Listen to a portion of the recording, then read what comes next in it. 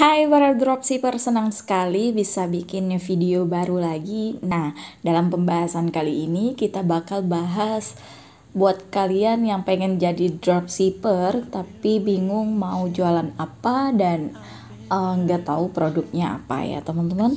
So, kalian pasti pengen jualan produk yang untungnya lumayan. Nah, teman-teman, ini saya rekomendasikan satu produk yang benar-benar kayaknya bukan kayaknya lagi ya.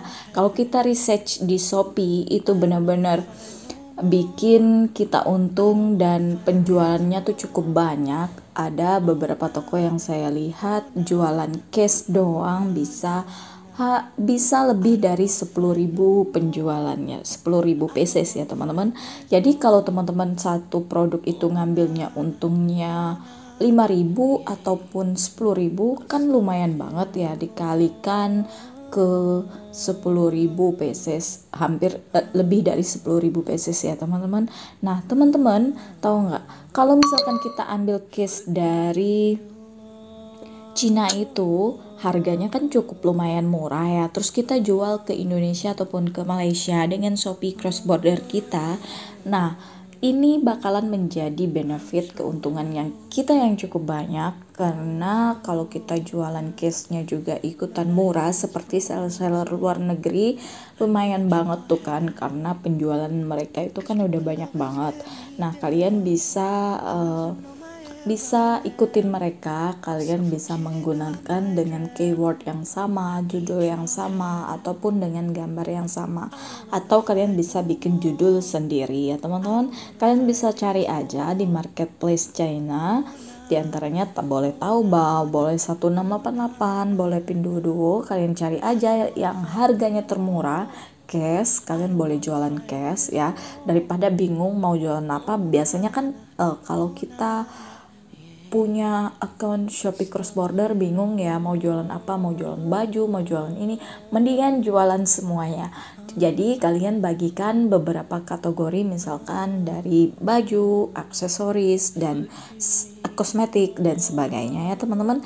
Kalian jangan sia-siakan akun kalian kalaupun kalian nggak punya account Shopee cross border ini juga bisa jadi ide bisnis kalian. Kalian bisa ambil dropship dari Shopee lalu menjualnya kembali ke Shopee atau ke sosial media kalian. Nah teman-teman jualan uh, case handphone ini sangat mudah ya teman-teman. Simple juga. Dan teman-teman tahu kalau ongkir dari Cina ke Indonesia jualan case itu cuman sekitar 10.000 nah murah banget. Jadi masih kita masih ma masih menyimpan benefit yang cukup lumayan ya teman-teman. Kalau misalkan harga dari Cina nya itu cuman sekitar uh, 10 ribuan terus ditambah sama ongkirnya 10 ribuan dan kita jual sekitar harga 30-an lebih seperti itu ya teman-teman. Atau bisa lebih tergantung dari barang dan jenisnya dan tipe serta materialnya ya teman-teman. Jadi teman-teman tinggal pilih aja mau jualan cash apa yang, yang menurut teman-teman sesuai dengan uh, keinginan teman-teman dan teman-teman melihat research produk dari Shopee ataupun Lazada atau Tokopedia dan serta marketplace lainnya. So, sampai di sini untuk video hari ini. Kita uh, bikin video baru lagi tentang apa kalian boleh request di kolom komentar dan see you next time di next video. Bye bye.